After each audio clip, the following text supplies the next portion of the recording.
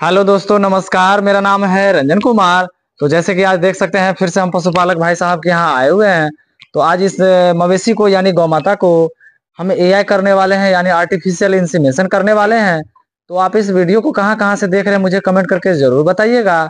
और इस वीडियो पे, इस चैनल पे पहली बार आए हैं तो मेरे चैनल को सब्सक्राइब कर लीजिएगा, क्योंकि हम अपने इस चैनल पे मवेशी के ट्रीटमेंट के संबंधी बच्चा निकालना एआई प्रोडक्ट रिगार्डिंग और भी बहुत ऐसे सारे चीज़ है जो कि मैं डालते रहता हूँ। और वो बिल्कुल फ्री होता है।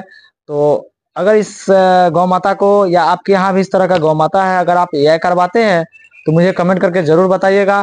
क्योंकि अगर मैं इसमें नस्ल की बात करूँ गौ माता में तो जर्सी नस्ल, साहिवाल नस्ल, फ्रिजियन, शंकर राथी थारपारकर क्रॉस, ऐसे टोटल गौ माता में सत्रह नस्ल आता है। तो फ़िलहाल इस गौ माता को जो आज हम एआई करने वाले हैं, वो गिर नस्ल का एआई करने वाले हैं। तो क्या आप अपने यहाँ भी गिर नस्ल का एआई करवाते हैं?